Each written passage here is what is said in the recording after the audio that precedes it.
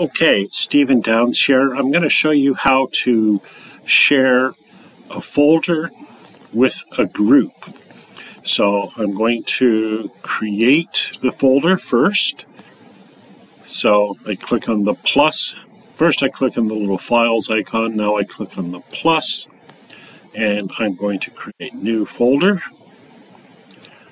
And it's new folder. So I uh, don't know what to call it. Doesn't matter. Um, so now I'm going to back out of that. I'm going to now find new folder. Here it is. I'm going to click on the share icon and I'm going to pick a group.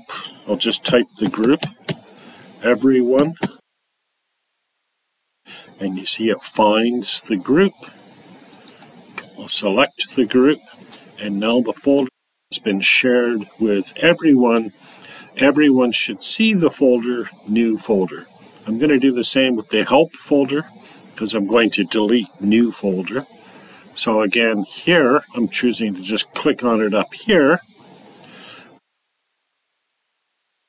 And with everyone, notice I don't have to type that in the second time. It remembers and now it has been shared with everyone. So uh, that's it for how to share a folder with everyone.